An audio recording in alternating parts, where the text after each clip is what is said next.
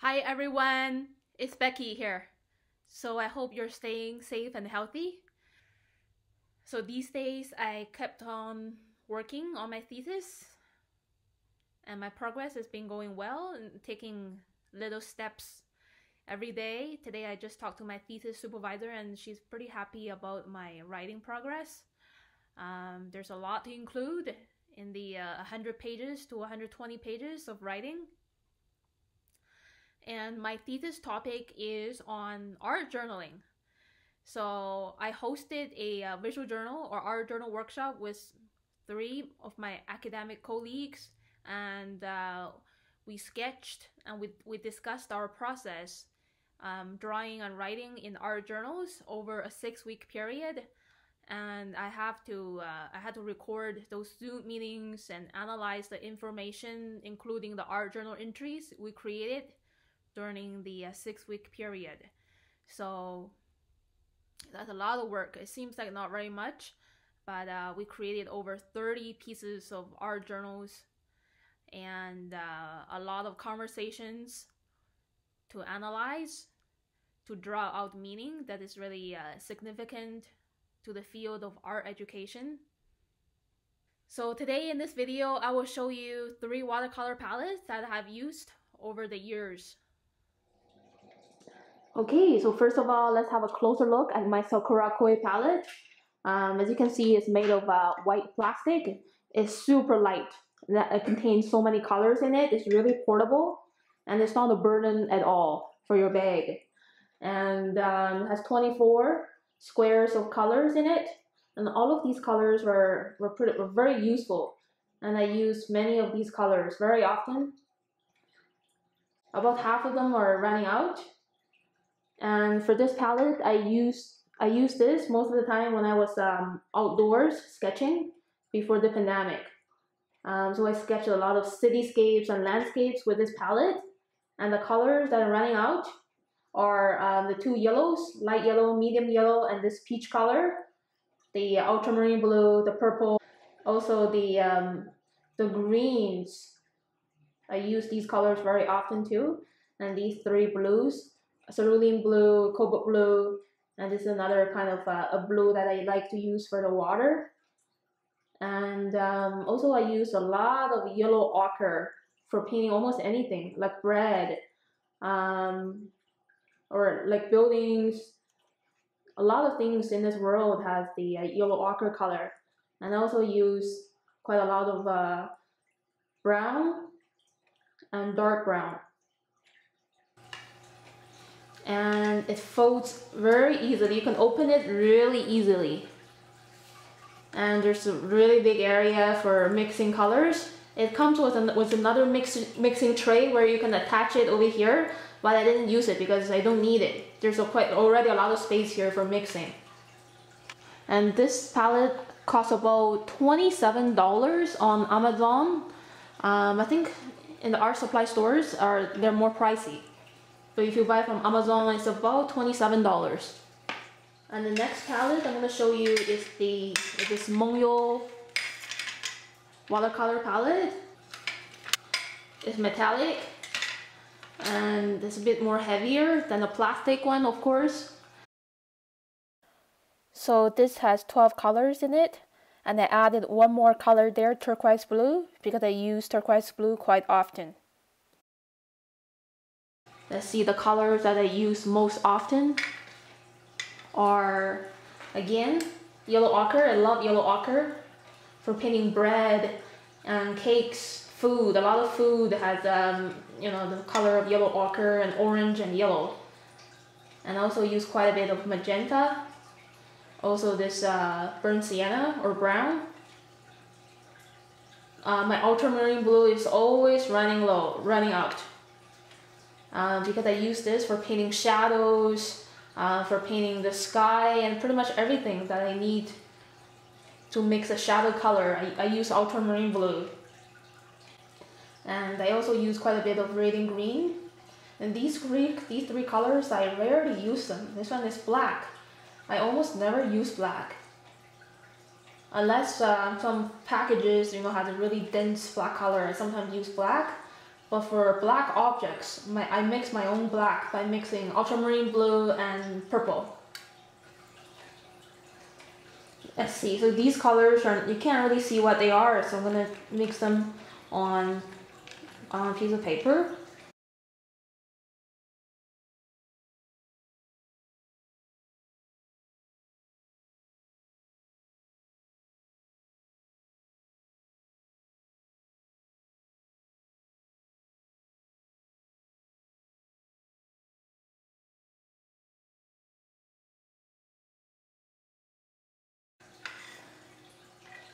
Um, so this Mungyo palette costs about um, $25 from my art supply store. So it's quite affordable. I think you can also buy it on Amazon. It's about $25 and the colors last for a long time. It's kind of interesting that when I, over the years, when I tried the different brand of palettes, some watercolors, um, the, the cakes ran out really fast.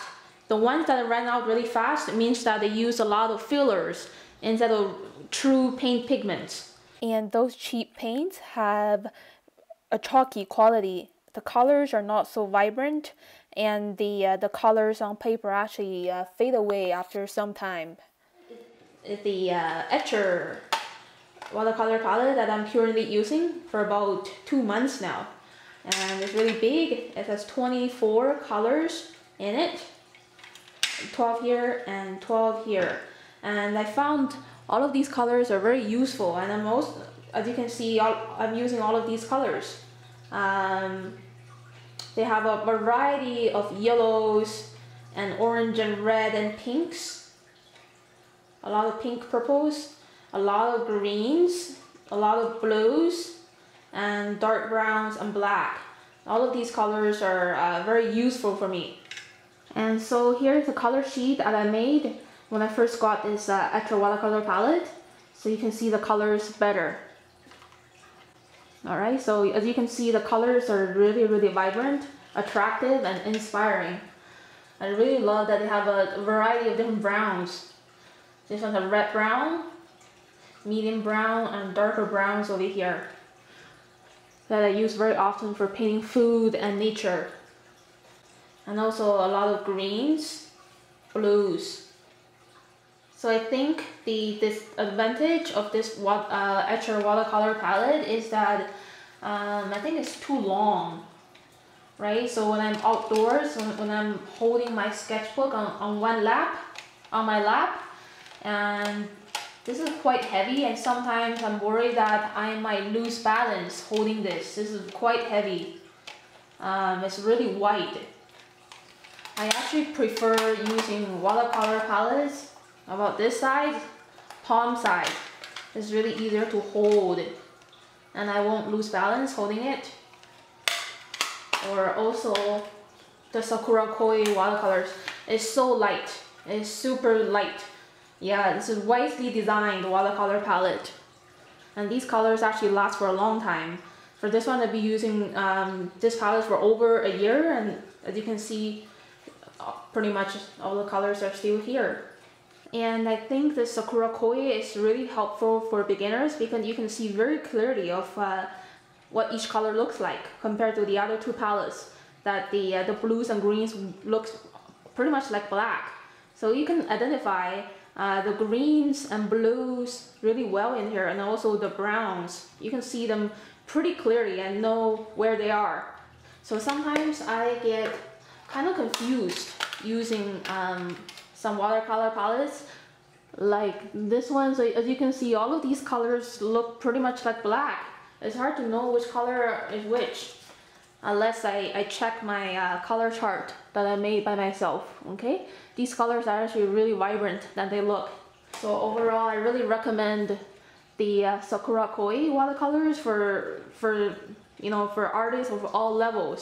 It's just really easy to use. It's portable it's light and you can see the colors so clearly.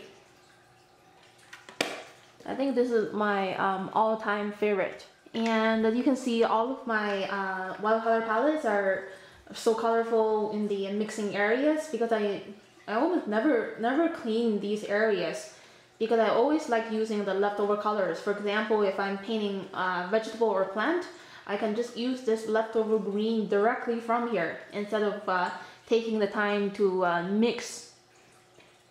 Okay, so same as here, I can use these greens directly and um, some of these grayish shadow colors.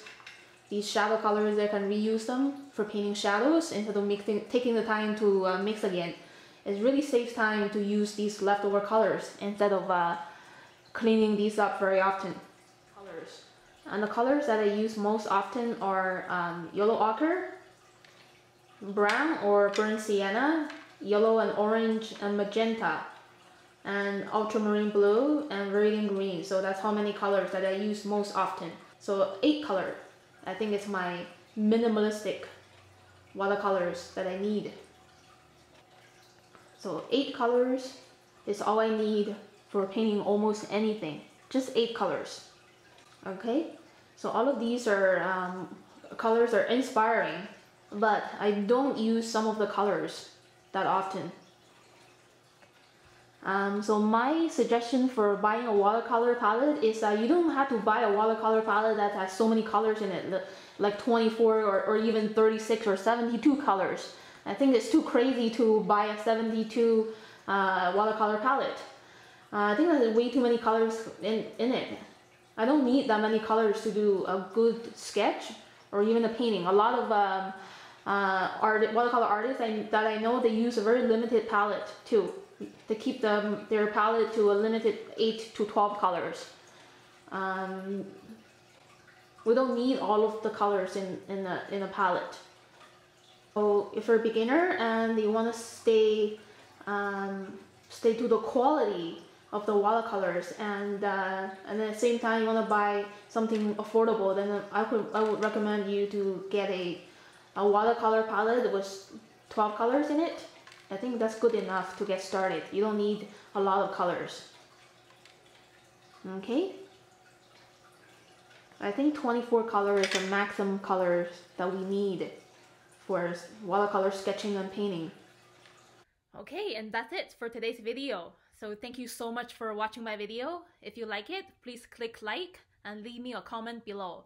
If you have any questions about the watercolor palette that I used, just feel free, don't hesitate to leave me a comment below.